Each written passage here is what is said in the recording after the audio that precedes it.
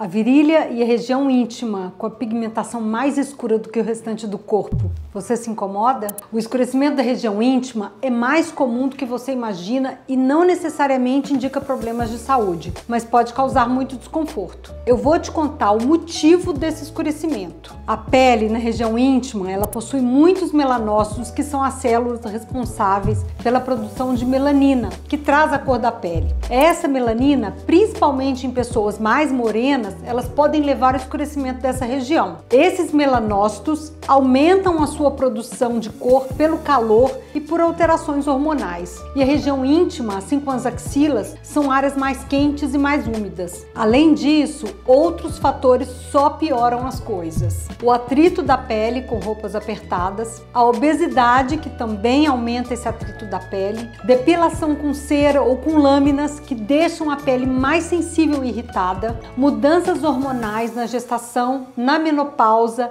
assim como o uso de anticoncepcionais orais, também vão afetar a pigmentação. Tá bem, eu já sei a causa, mas eu resolvo como isso? Evite roupas apertadas, se possível, durma sem calcinha. Opte por depilação a laser no lugar da cera ou das lâminas de depilar, porque aí a pele não vai irritar. E aí a gente vai poder ajudar também com tratamentos específicos, como os peelings químicos, microagulhamento, laser e injetáveis para clarear a região íntima. Você conferiu se a sua região íntima é mais escura? Se te incomoda, agende uma consulta na clínica com a nossa equipe de dermatologia para traçarem o melhor tratamento para você parar de se esconder.